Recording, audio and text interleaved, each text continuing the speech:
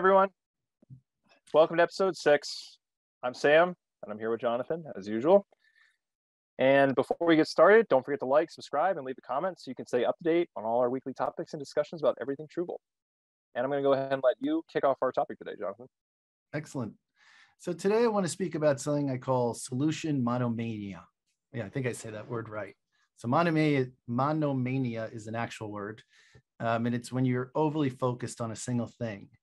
And what we find very often is when it comes to projects, everyone starts focusing way too much just on the solution and they lose their connectivity to the problem.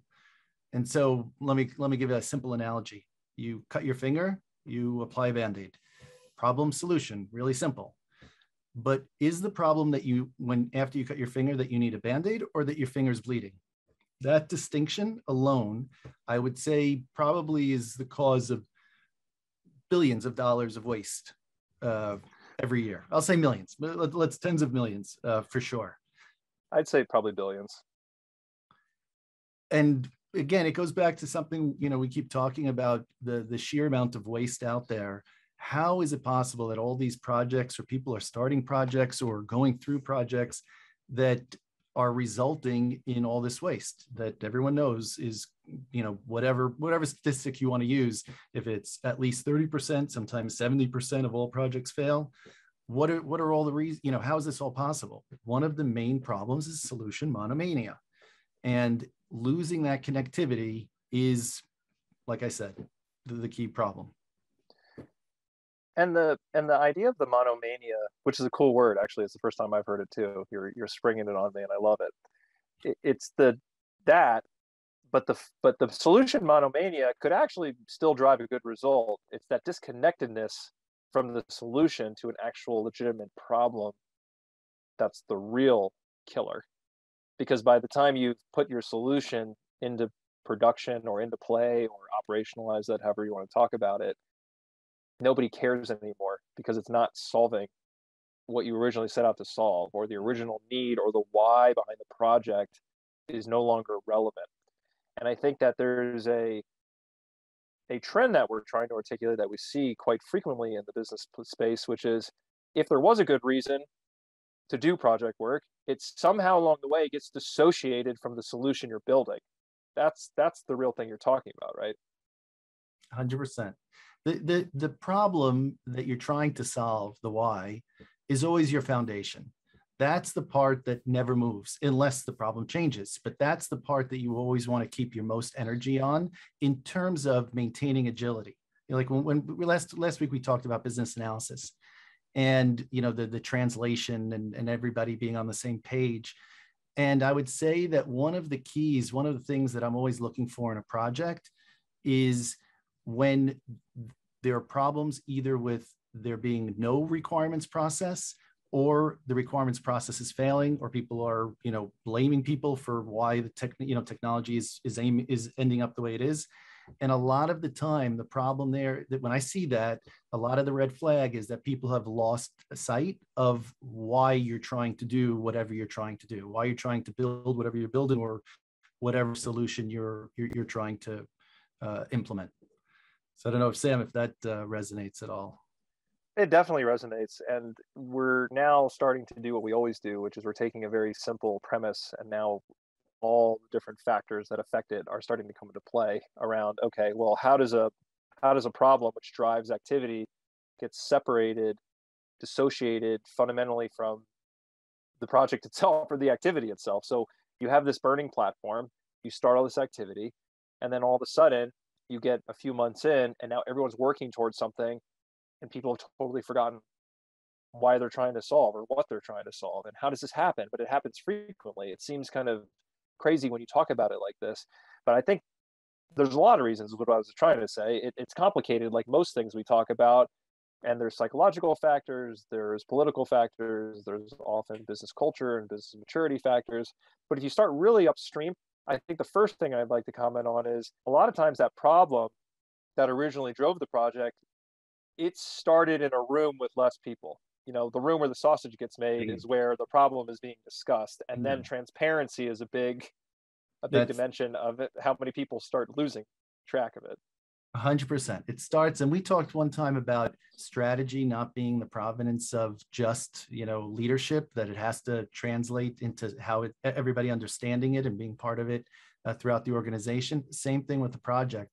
When these projects start and someone makes a decision, especially implementing some large ERP or what any enterprise level project, and there isn't very excellent transparency on what problem is trying to be solved, that's boom. That you're already starting this this big you know ball uh, rock going down a hill that's going to collect all this other waste and end up in some massive destruction. So I agree. You know, transparency at the outset critical. And and that's where if you don't have transparency, and I would even say, as far as a lot of bigger projects, they don't have continuity very quickly of whoever decided this is a problem, whoever put the energy into solving it, and they create a team. The team was actually never even briefed a lot of the time on why they're doing the project, or everyone had, didn't have to sign off or get educated on the business problem they're trying to solve. Their job or their assignment is the execution toward a solution from the start. So you could even say that it's not even, well, transparency is always an issue because they should be able to access why the project is happening and people should be inquisitive and want to know that. But oftentimes when I build a project team, I'm already starting off the wrong foot because I may know why I need the project. But if I'm just hiring people to do things, their goal right off the bat is to do the things, to make the band aid, even if the wound is already healed. How are they supposed to associate the problem that somebody decided was important with their work if they were never told and they're never incentivized to keep that front of mind. And I think that now we're talking about that's that first step where things go materially wrong in these projects. People don't think it's important. There's still a lot of a need to know culture that I think is pervasive in project work, especially in larger projects where they feel like it's cumbersome to onboard people and tell them all of the the the high level stuff, you know?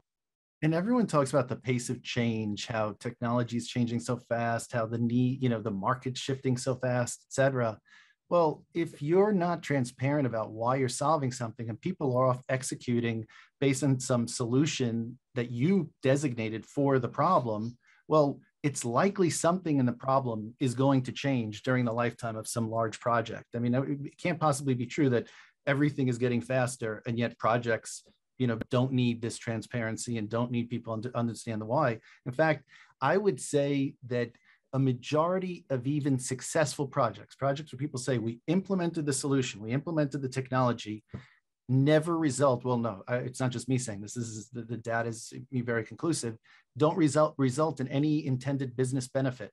There are benefits and we'll talk i'll talk about benefits in a second but it doesn't actually solve the problem that what you know that that was the reason why the project was started. That happens all the time.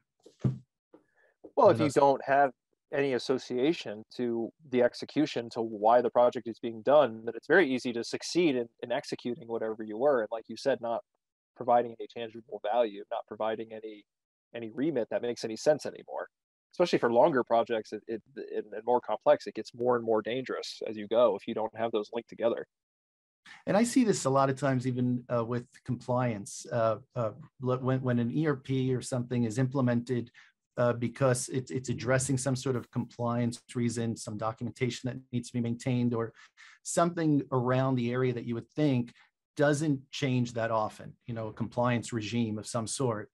Um, but then often there is a change. There's some sort of change in, in either how the compliance needs to be addressed. Maybe suddenly, maybe there was a, a very document intensive process, and then whichever government agency shifted to some online process, and you don't need all that heavy documentation, and you don't need to store it somewhere distinctly because there's some there's a, a, a, an online process or something like that, and yet whatever the ear all these other aspects of that ERP are still pushing forward and actually get implemented um, and sometimes actually cause more harm than good because all those other aspects of that ERP that everyone's trying to squeeze in, you know, a, a circle into a square don't actually work that well and all these workarounds, et cetera. And the original reason is gone. You know, so like think about the back to the band-aid example the reason why the distinction is important, even in that simple example, is let's say when you're off going to get the band-aid, um, you realize that uh, it's a much deeper cut. The problem's much bigger than you thought, and band-aid just it's going to bleed right through the, that that band-aid. or let's say the bleeding stops and you don't need the band-aid anymore this is like literally it's that simple that example. Now most of these erps it's much more complex problem. And so think about if somebody's you know bangs their head and you know you need to get them to a hospital to be assessed now you're going to have what we call objectives. So you have your problem ultimate solution of the person being healthy and but in the middle in between that you set yourself objectives in the project or mini solutions that could include get the person to an ambulance get the person from the ambulance to the, you know, or get the person to the emergency room. The problem is, even with those objectives, you need to maintain the why because I'll just, you know, I'll, I'll wrap up my little soliloquy here. But uh, it's if let's say you the the emergency room is 15 minutes away and um, the ambulance is going to take three hours. Well, do you still wait for the ambulance or do you drive the person? So that's shifted now. But if the people that are trying to uh, if, the, if someone was assigned to get the ambulance, they're still off doing that, even though the facts have changed and you you know you know now that you're going to drive the person. And actually now you have two different groups solving the same problem, uh, and again, very common in in in, in the business context. It it goes on and on like that too, and you know the cut example is so simple but so effective and i think articulating what jonathan just said which is that the problems change. I think that's the real insight. And that's what a lot of people in the beginning, it's hard to compute. I think there used to be, you know, to go back to our waterfall versus agile conversations, waterfall used to be okay, solid problem, solid solution. Now let's work for six to 12 to two years on how to solve it. And they kind of consider them static. In agile, everyone kind of understands now okay, we found a solid problem same premise, static problem. And now the solution, we know there has to be flexibility. It has to live and breathe as the project progresses, as we learn, as we kind of understand and we iterate. And now everyone's totally sold on that. Now, what no one's really talking about that I think we're trying to talk about now is the reality is there was never a static problem. It's a moving problem and a moving solution. That's how it always is in reality. And when you look at the progression of understanding that flexibility, I don't think it's far fetched. But I think for a lot of people, that's super intimidating because if you have a moving target on what you're trying to solve and you have a moving target on how you're going to solve it, well, you may just throw up your hands in frustration and say, well, what's the point of project planning? How does anyone ever get anything done? But that's what we struggle with. If you're an agile team, and like I said, you have a, like Jonathan saw, you have a cut on your forehead and it's bleeding into your eye, and you're thinking, okay, this is a huge problem. I can't see. And you're starting to build glasses or like protective eyewear you could be iterating that for months and then by the time you get back to the stakeholders the cut has healed and the bleeding has stopped. The problem itself has changed fundamentally. The root of the problem has changed fundamentally. There's nothing you'll show up with your glasses and they'll be like what do you what are you even bringing this here for? Like this has already moved on. But that's really hard for people to grasp because you've got multiple moving targets but that's real life. That's the that's the the thing that that throws people off. You can't just assume these things are static and each one of these solutions you know so let's say somebody finds a workaround in in their systems at work or in, in, sam's example you know they they say oh i can use these glasses. The problem is then the solution monomania that takes over is they start really focusing on the benefits of, and they start defending and justifying their solution and that becomes an entrenched and embedded group that now that's going to go forward no matter what. And I, I would say that anytime anyone talks in a project to me about benefits, all the benefits of the system, and they start listing it, I'm already, my red flag is, is already up because you shouldn't just be thinking about all the extras that we get with this. It's not like projects are shouldn't be like goodie bags, you know, that you you know you get at the you know when you when you leave some party or something, and you kind of look through it and say, oh, that's cool and that's wonderful and that's great. The you have to realize that all these solutions you're paying for from your profit. So it'd be like looking at a goodie bag and saying, you know, oh, this is great, but now would you pay for that goodie bag? Well, I don't know, you know, right out of my pocket. I don't know that I'm going to be, you know, pay for a Pez dispenser. It's pretty cool. You know, I'm happy I have one now, but, uh, or whatever, you know, um, might be a find in there, but it's definitely not something that uh, um, a business should be paying their money for. And yet now we have a manager who's looking at two different solutions that people are working on. And well we don't want to offend this one don't want to offend this one. Let's let's figure out how all these benefits can kind of all work together and be great for us instead of being like what the heck is what the heck is going on here? Why are we wasting our time with uh, building all these different solutions? And i don't even want to be in this meeting. Yeah. So. well and, it, and it's so it becomes more obvious when you always talk about things in relation to the individual when you're making analogies that are rooted to the individual. And like you just said, it's such an apt one. Again, with the goodie bags, I mean, you can shop all day, but anyone with financial sense usually interrogates their financial decisions. But the crazy thing and the most dangerous thing about all this project work is that once you spin up a team, if you don't have a solid foundation, the team is working. They're desperately, if they're just executing, they want you to love what they build because that's their job. Now you've got psychological, you've got human factors, you've got a group dynamic where even if they've totally forgotten what they're trying to solve, they're trying to impress you because they need you to validate their work and they need the budget to be continued. And the craziest part is the person who had the problem in the first place often forgets why they even started the project, especially if it's not well documented. And then they get, like Jonathan said, they're in there watch letting people demonstrate to them a dog and pony show and just in the moment like chasing a squirrel like wow that's really cool. But now we're totally off where we started and why we even started doing the work. And this can go on for millions of dollars and months and months and months. And nobody says where's the project charter? Did we write down the problem and the goal? Did we actually have we kept continuity in what we originally set out to do and how we're measuring how to achieve it? It's the basics and it all happens right up front and this is what we're always harping on, which is don't start the project unless you have something that's worth solving and you know it has staying power. And you know that even though everything in life is a moving target, the variability for what you're looking at is low enough or the risk is low enough for something materially changing on you that the effort will be worth it from the onset. I mean, it's not really complicated calculations. It's just it's just keeping this in mind. I'm, going to carry through the analogy a little bit because you, you said about how the project team gets excited to show it. So let's say, you know, I look down and I see blood on my finger. I say, oh, honey, can you get me a Band-Aid? And she goes off and she's looking for a Band-Aid. And then she goes, you know what? He loves superheroes. L- let me find, I know we have a Batman Band-Aid somewhere. And they st- she starts searching through all the stuff and and then says, oh my gosh, this whole cabinet is a mess. I'm going to, let me clean it up a little bit. And then, I, okay, I, I get, you all, a long time ago, I looked down and realized, oh, that's ketchup.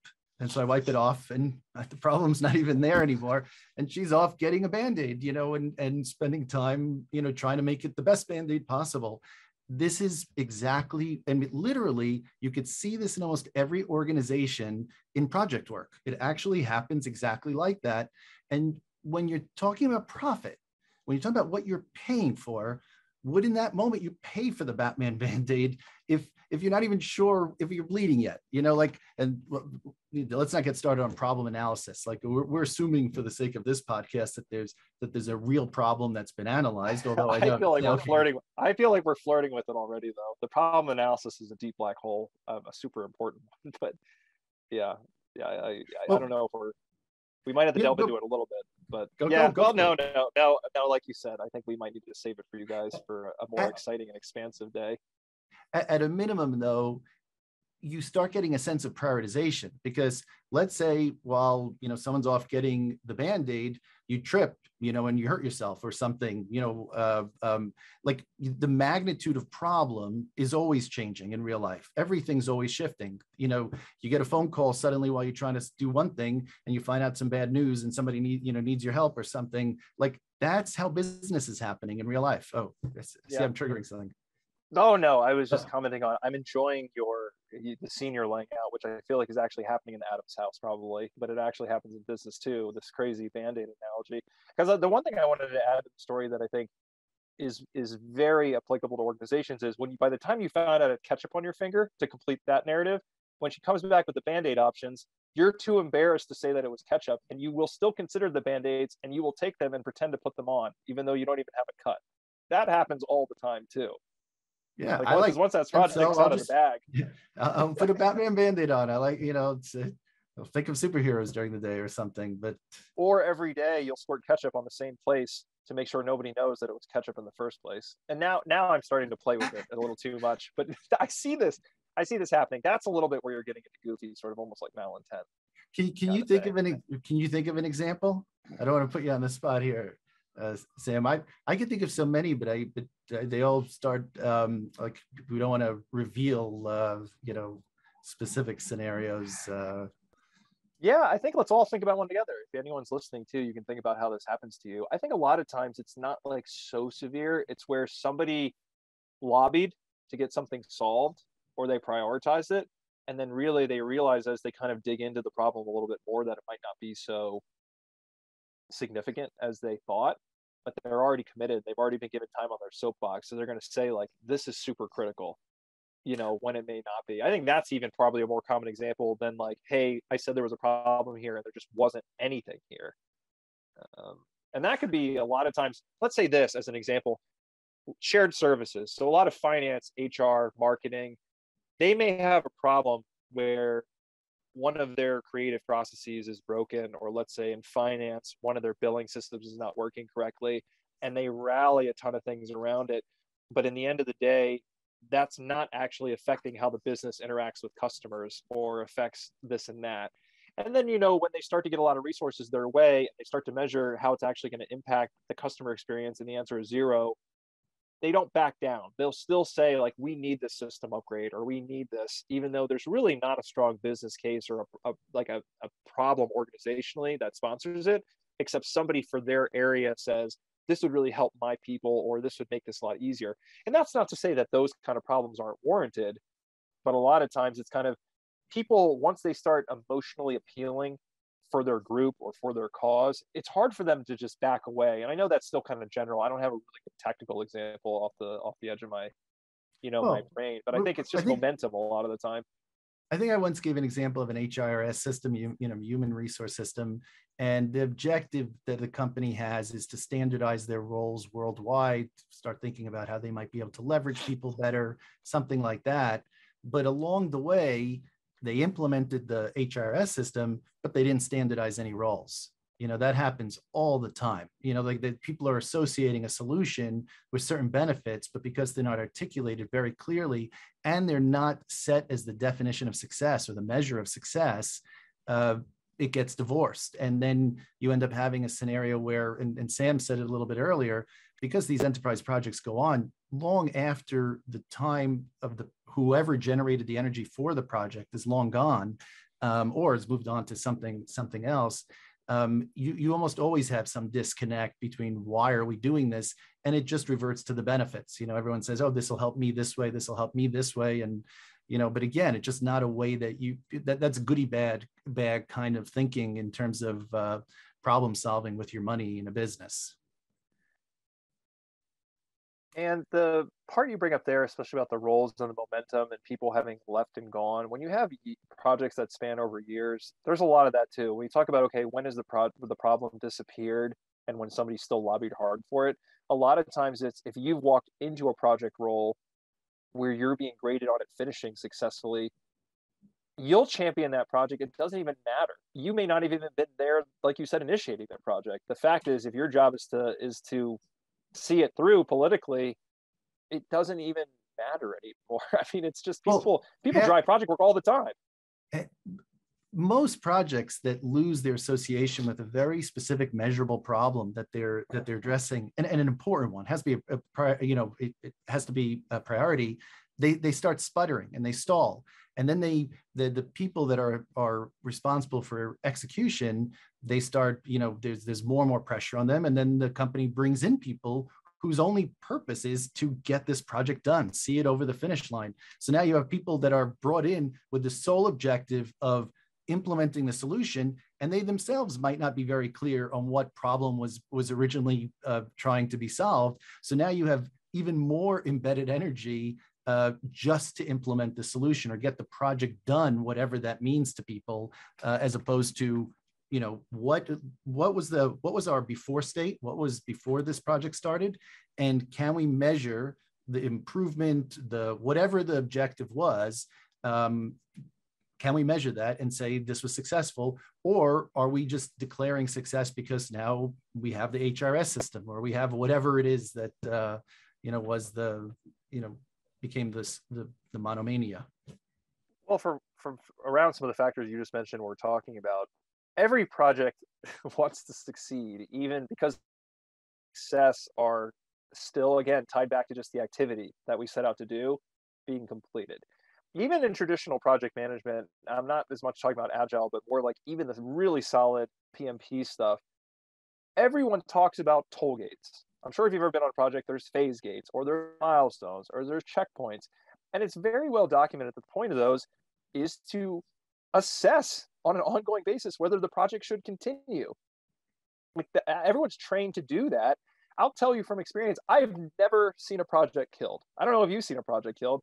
I've never seen any project get to a toll gate and people actually legitimately assess, okay, this is not going to add the value we thought, or this is burning up too much money, or we need to change direction.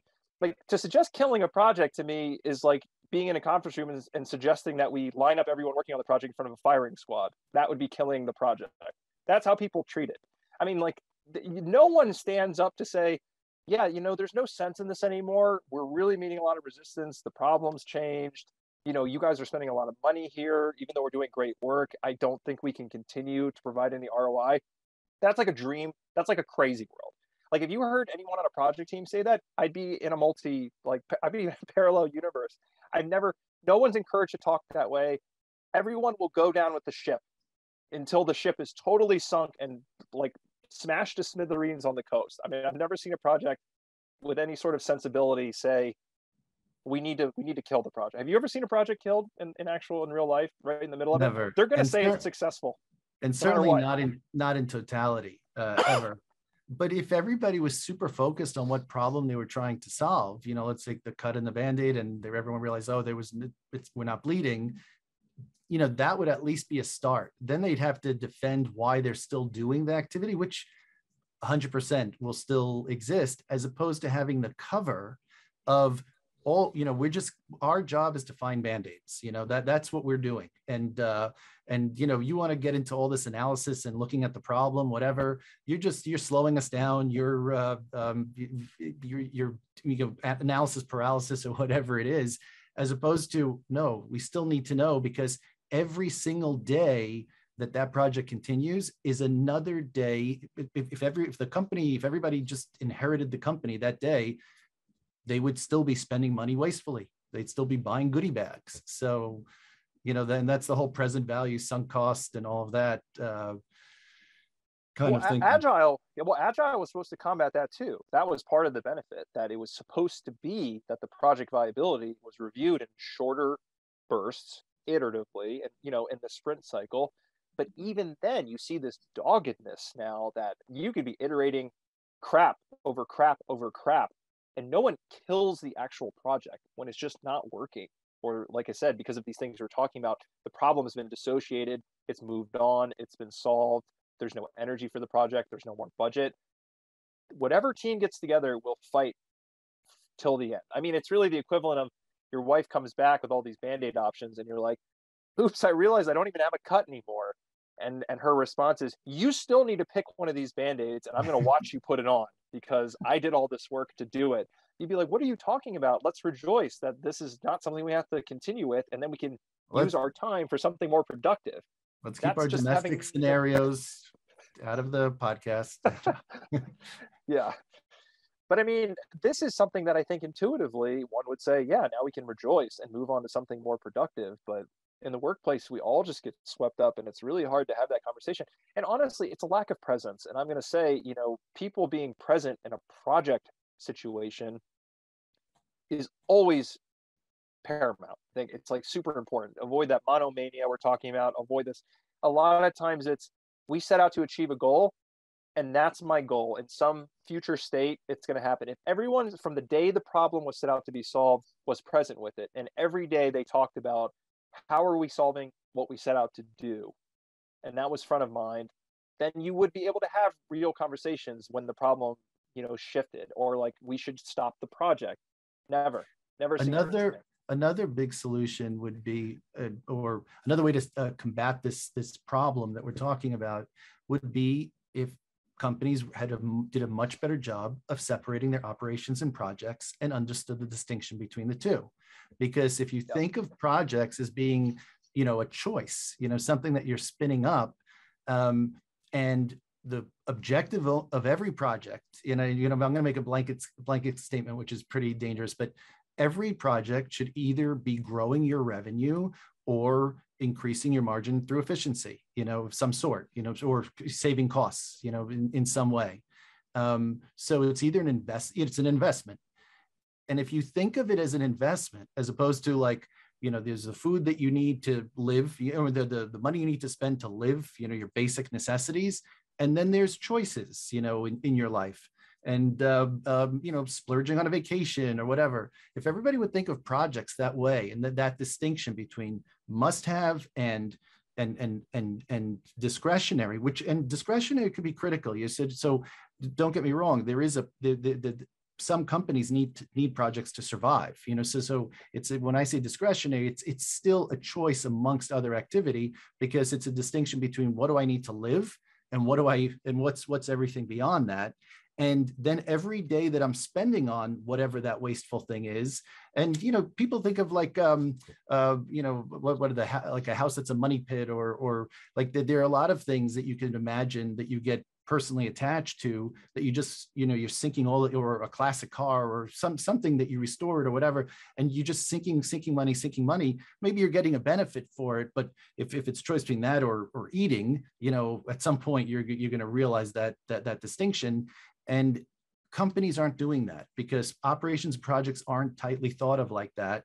And so it's all just critical uh, um, work. Yeah. And that is super important that that distinction because like you said if you stop a project if you conceptualize the project correctly your business should still be able to function how it was before the project started that's i think the summary point right that you're trying to make 100%, that, 100%. that's why if you're conflating the two like my whole business is going to shut down if i kill this project you're fundamentally thinking about projects incorrectly or like bringing way too much into it than than you need to be yeah because it should, like I said, critical projects, yes, you may need them to survive in the long term. But if you ever have something you're calling a project that you need to survive right now today, you're probably conflating a bunch of different process stuff that's going on in your organization and probably not in a positive way. And, and bring it back to like uh, the transparency and everyone being on the same page as to the, the, the reason why. Another way of saying you know an element of what of what we're saying is alignment everyone having the, the transparency allows everyone to align on what we're trying to what we're trying to solve for here. Now that has a benefit all on its own in terms of like organic we were talking about when it goes off the rails the solution doesn't match you know the objective. Forget that though.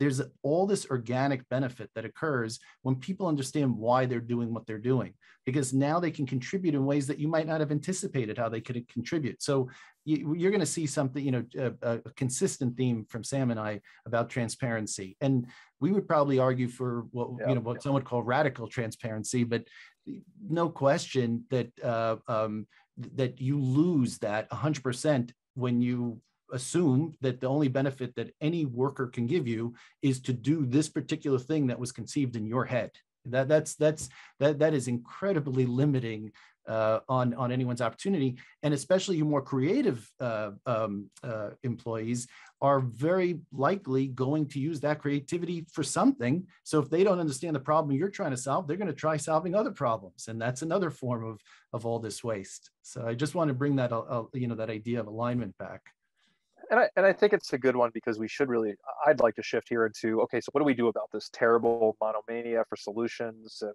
you know this dissociation between the problem and the thing? And transparency is is obviously the number one. And in transparency again we're presuming that let's say there's a legitimate problem and it's, it's sustainable. So let me start with that premise because like jonathan said that's not always the case. But let's say you have a problem and like the cut situation let's say you, you've identified a cut that's not going to heal on its own that's the sustainable aspect. I think that's important. So we have a stable problem that's not really it's like internally driven it's not affected too much by market or uncontrollable factors and you know it's solid and it needs to be looked at and you need to invest in solving it let's start from there because that that even is a lot to start with but from that point on the transparency is whoever articulated it i would say put it on a document you know i'm again i'm not lobbying for some heavy document but write it down somewhere and then you need to always have it so that the project team can see it that's the transparency we're talking about in practice hundred percent i'd bring it up i'd have it at, i would have it somewhere and and uh start every meeting with it. Like you, you second every you meeting. Lose, second you lose the tether to that problem that you're trying to solve or if you've already you know if you built a it's a complex project plan and you're going to have multiple mini solutions or objectives along the way to achieving the ultimate uh, objective uh, solution that you're um, that, that you're looking for um, if everyone just needs to be and see what is why they're doing whatever they're doing and where it fits in because then the few people that are always in the room that are saying why are we in this meeting? This doesn't seem to make sense they it would be obvious to everybody. Yeah. And and you know we're talking to almost like the managers who are making the projects and the execs. Let's talk to the majority of you who are listening who are most likely on project teams. If there is no problem or why we're doing the project that's provided to you, ask for it. Don't get caught on the other side of the problem in the that's... beginning and just start executing without knowing you deserve it and you should ask for it because otherwise you're going to be doing a lot of crazy activity that you don't really know is tethered to anything substantial. That is a tough one though. That is a tough one to you you're going to, you know, you go to manager and say, "Okay, why are we doing whatever we're doing?" And it's like it, it, the same lack of transparency that started the project the way it did is they're going to be met with likely uh, um, in, in asking these questions. I agree, though. The, the alternative is to find some meaning in implementing something that you don't know why. So you're going to invest some meaning to it that, for all you know, can actually be harmful to the organization because there's no such thing that no solution is objectively good. It's impossible because if you don't know what's going on in an operation, I think we covered this in the transition state, you can't possibly tell me what the possible impact of that solution will be. It'd be like saying band-aids are, are, are good. Like, well, it depends. You know, they're plastic actually, they could be bad. You know, they're bad for the environment. You know, like so like the sticky part hurts your skin if you're not exactly. Careful. There's no there's no objective there's no objectively good solution. Although obviously whoever's selling the solution they're you know they're marketing heavily you know they're very invested you know like you, you just have all these forces you know around that but getting back to yeah. sam's point i think it's a critical one and i think you know everybody sees this waste it's been going on for a long time it's it's growing but we believe that there is a consciousness that's that's that's percolating and people are are are are really do want uh, and and there are some good um, there's good information out there they, they want to be part of the solution. They don't want to do meaning, meaning, meaningless work. Right.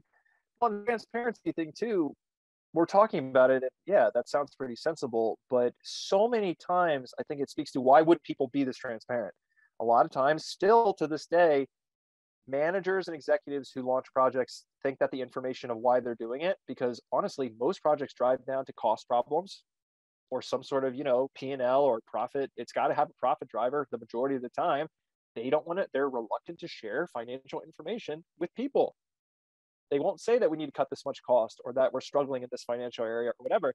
And my answer is if you don't feel like you can be honest with your team when the project is on the onset you may not want to start the project. So like if you're going to sit there and argue with me that you can't be transparent because this is sensitive information my response would be i'm not going to take that carte blanche. You need to interrogate that. Because if you go in and say, you know, this is a cost cutting project and uh, here's a solution that I think is going to solve it. And you just go to your teams and say, here's a solution we all need to figure out what to do. And you don't tell them that we're under cost pressure, have a target, we have something we need to achieve, or we're going to be under operating duress financially.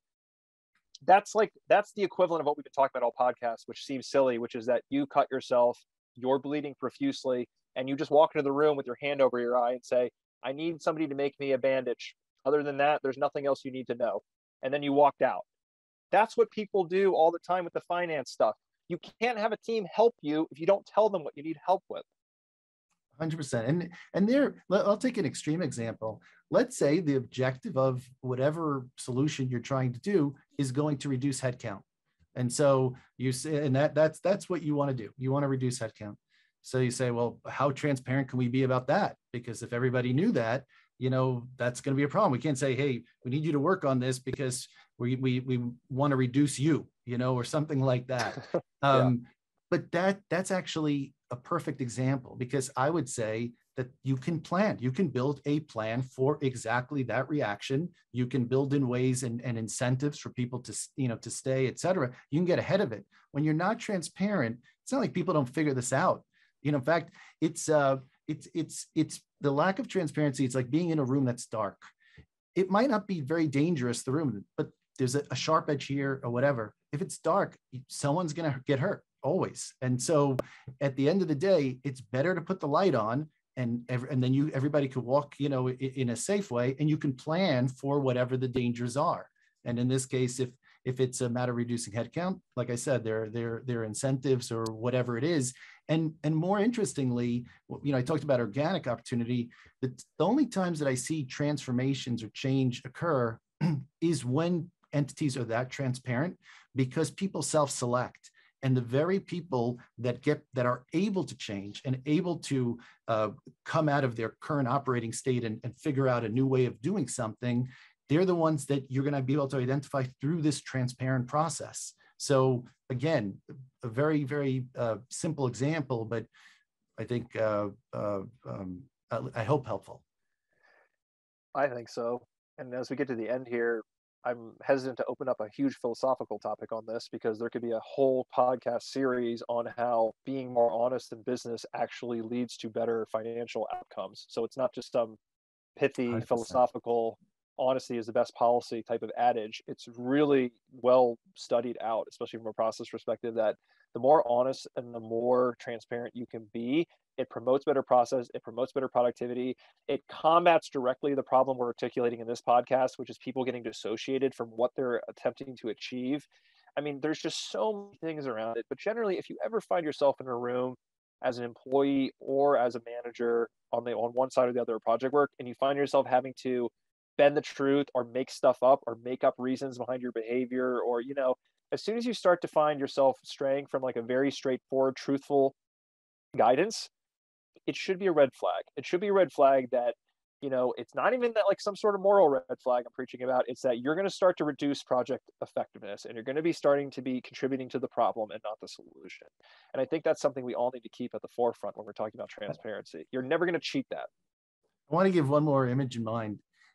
If you, let's say you're building a sandcastle, you know, and, and if, if your whole world is that sandcastle, you know, the solution and you're not looking at uh, you know the, the bigger picture within two seconds you could do everything you do and it could just be washed away.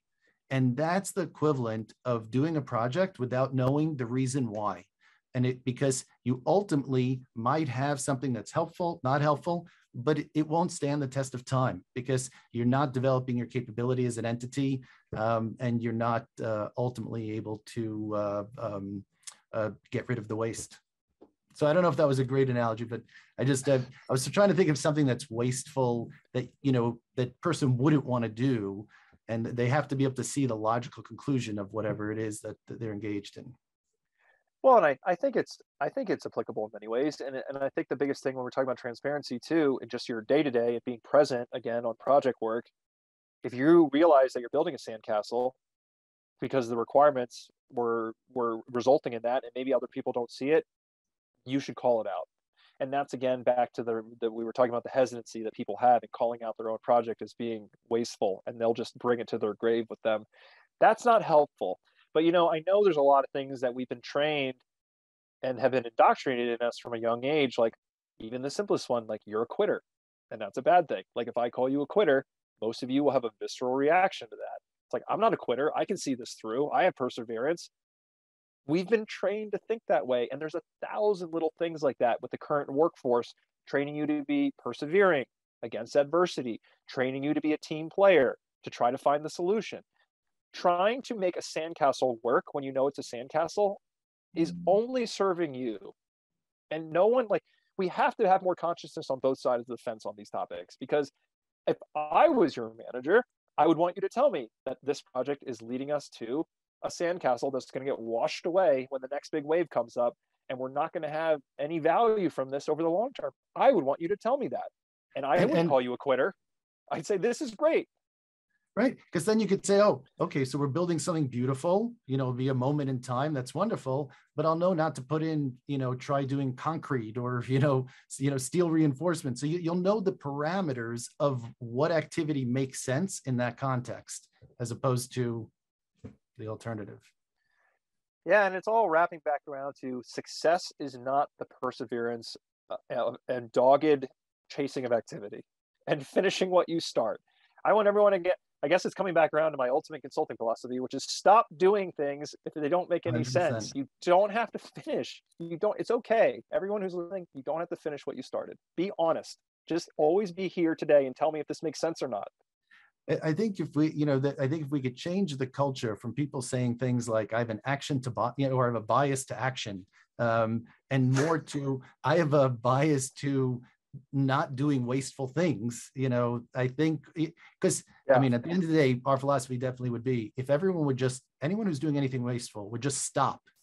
And the whole in, in with throughout an organization what a beautiful thing because maybe everyone would suddenly see wow all the value still being produced and not all this flurry of activity. So we have all this capacity now to do something useful with yeah the bias to action that's a really great one of my favorites that I, I absolutely can't stand. It's like i would love for everyone to say i have a bias to taking a deep breath and considering what i'm doing right now as it relates to the a problem that i was trying to solve. Does that sound very sexy? Probably not. It kind of sounds like somebody who's sort of just slowly considering from day to day what's going on. But that's what we need. That's what we need to do good work I, yeah, it's just. I'll set up. I'll set up because I think we're leading to. We're going to have to do a podcast soon about you know defining the problem. But when Albert Einstein yeah. says, "If I had an hour to solve a problem, I'd spend 55 minutes on the analyzing it and then five minutes on the solution," you know that's not a bias reaction. action. He didn't just start getting up and you know running around doing all this activity. It's consider how am I going to be most effective? Do I actually have a problem, etc. So everyone that quote seems to work for everybody, but it's nobody actually applies it. Well, like a lot of things we talk about, the logic makes sense when you're listening it. And hopefully, for those of you listening now, it's like, okay, this is stuff that seems intuitive. But when you're in the meeting or you're in the conference room and they're saying, What have you done? Where are we on our targets? Where are we against our next deadline? Are you that person that says, Does that deadline make sense? Do we still need to be driving toward it? That seems a lot more scary all of a sudden, but that's the application and context of what we're talking about and that's the hard part but staying consistent is our challenge. Staying consistent with what we know to be fundamentally true and and good work and good decision making and then applying it when you're under pressure and you have management that needs your help and they're just driving activity. Don't let the why get lost. That's really the this whole podcast is. Know why you're doing work have everyone aligned on that and if you're the one who's generating it have it out there front and center and make sure that every day that's the only thing you're talking about because that's the problem can change because the solution can change. As long as you you keep them linked together you will be in good shape and you're having honest conversations about it. And if you don't have the why and no one's giving it to you posit one that links the activity and at least see if that if maybe you could supply the why you know just yeah. to get the conversation going. But uh, that'll be the last let my at least my last word on the topic today yeah i think that's i think that's a really great stopping point. So we'll stop there and like i said we've introduced some even more exciting topics. Problem analysis is my uh, is one of my arch nemesis in terms of the business science so we'll hopefully have a fulfilling conversation about that in a future topic. But until then thanks for joining us and we'll talk soon. See you next week